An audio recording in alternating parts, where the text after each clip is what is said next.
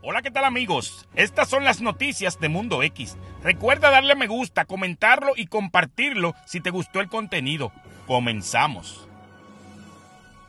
Apresan fémina que le dio una pela a su pareja.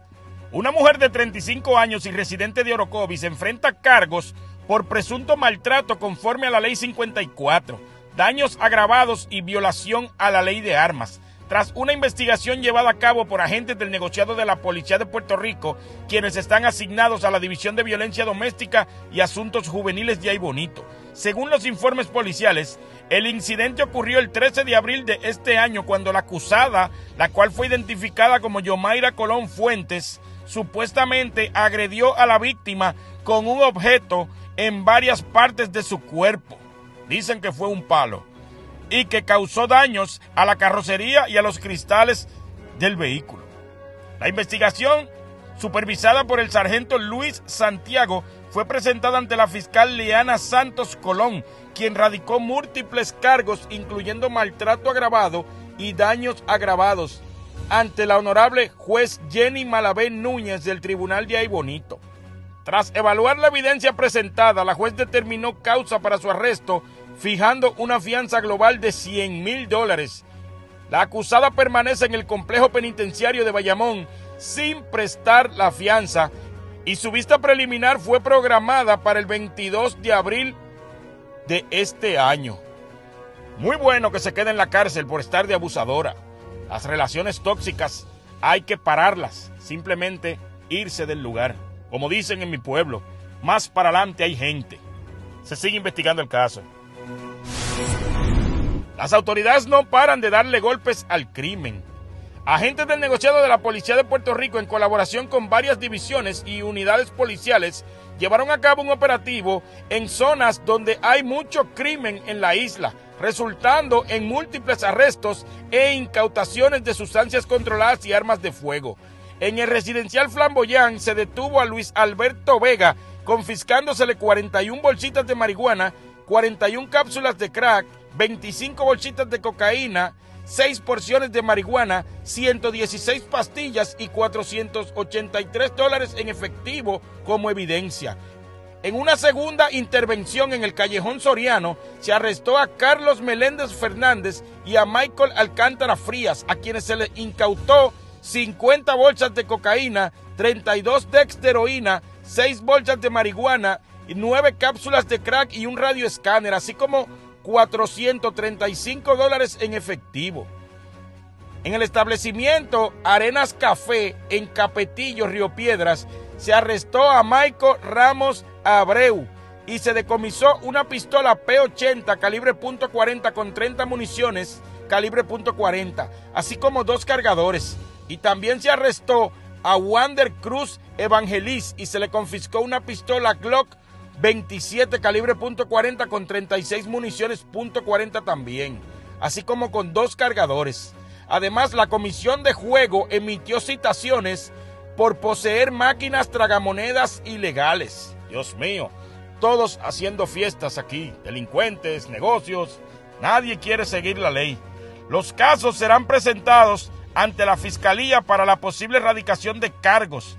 La investigación quedó a cargo de la División de Drogas Metro. Asimismo, autoridades sigan combatiendo el crimen, aunque les duela a muchos. Lo malo tiene que ser sacado antes que infecte a lo demás o haga daño.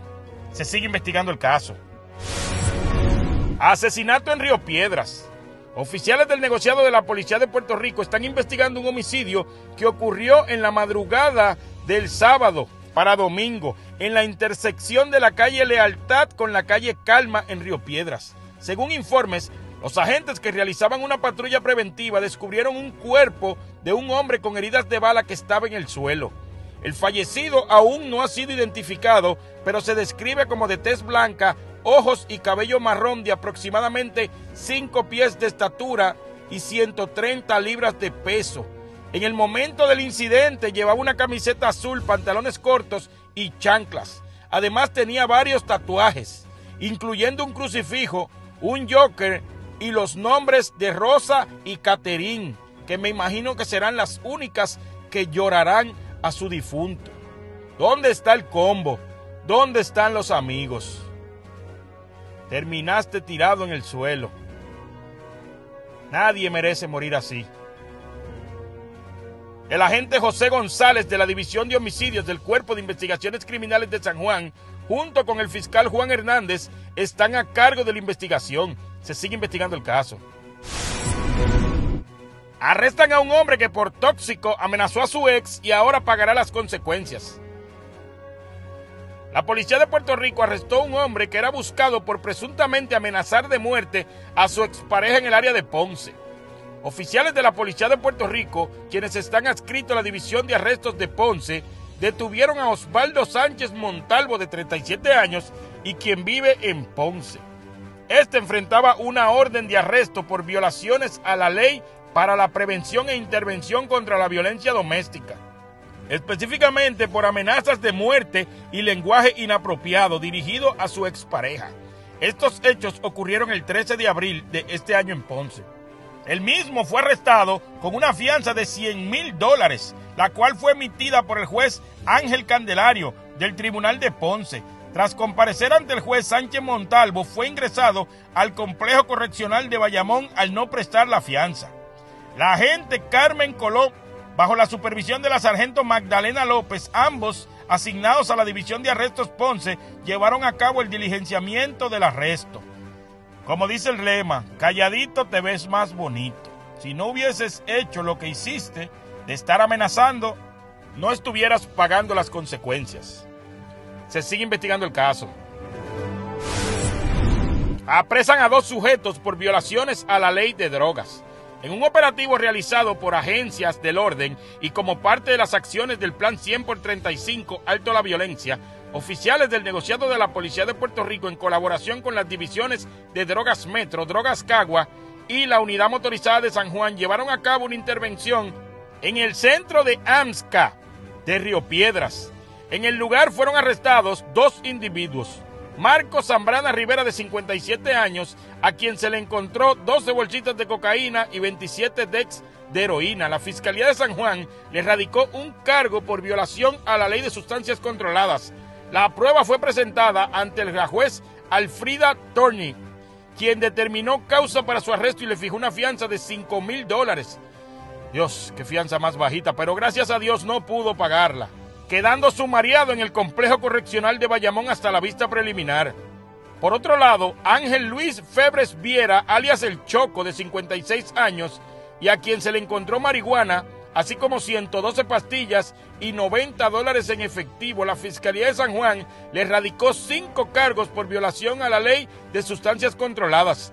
La prueba fue presentada ante la juez Brenda Salas, quien determinó causa para su arresto y le fijó una fianza de 25 mil dólares. Febres Viera prestó la fianza y quedó en libertad hasta la vista preliminar. Agentes del equipo de Drogas Metro estuvieron a cargo de ambos casos. Hubiese sido un poquito más alta, no sale este indeseable para las calles a seguir vendiendo drogas. Se sigue investigando el caso. Agentes del negociado de la Policía de Puerto Rico investigaron un trágico accidente de tránsito ocurrido la noche de ayer en la carretera 123, a la altura del kilómetro 41.4 en el barrio Juan González de Adjuntas.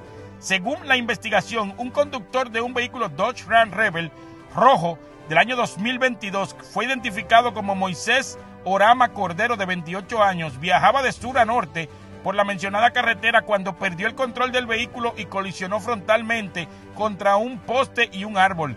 El pasajero de adelante, Rafael Fernández Rivera de 46 años y residente de Atillo, sufrió heridas graves que le causaron la muerte en el lugar del accidente. Además, el pasajero trasero, el cual fue identificado como Emanuel Orama Chacón, de 29 años, resultó herido. Personal de emergencias médicas brindó los primeros auxilios y trasladó a los heridos al Hospital San Lucas en Ponce. La agente Lu Ruama Rodríguez de la División de Patrullas de Carreteras del área de Utuado junto al fiscal José Rodríguez Quiles están a cargo de la investigación para determinar las circunstancias de este accidente. Se sigue investigando el caso. La policía apresa a un oficial por cargos de explotación sexual. El agente del negociado de la Policía de Puerto Rico, Luis Javier Pérez Vadillo, de 49 años, fue arrestado por agentes de la Agencia Federal de Investigaciones de Seguridad Nacional, el HSI, en San Juan, por presuntos cargos por violación infantil. Pérez Vadillo enfrenta acusaciones que incluyen producción, transporte y posesión de pornografía infantil, según un gran jurado federal que lo acusó formalmente el 10 de abril. Según la pesquisa, Pérez Vadillo supuestamente utilizó un teléfono celular para involucrar a una menor de 12 años en actividades sexuales con el propósito de producir el material visual y también accedió a imágenes pornográficas infantiles en dicho dispositivo. Rebeca González Ramos, agente especial a cargo del HSI, declaró, este individuo es un depredador que abusó de su posición de confianza pública para cometer un acto despreciable. La fiscal federal adjunta Emelina Agriat Barreto está a cargo del caso junto al grupo de trabajo sobre crímenes contra niños de Puerto Rico, liderado por el HSI. Si es declarado culpable, Pérez Vadillo enfrenta duras penas de prisión, incluyendo un mínimo de 15 a 30 años por producción de pornografía infantil de 5 a 20 años, por transporte y hasta 10 años por posesión de lo que ya mencioné infantil, seguido de libertad supervisada. Asimismo, lo que no sirve se echa a un lado para que no siga dañando el nombre de los oficiales buenos y trabajadores que sí cumplen y que sí andan por el buen camino. Se sigue investigando el caso. Te informó Mundo X News.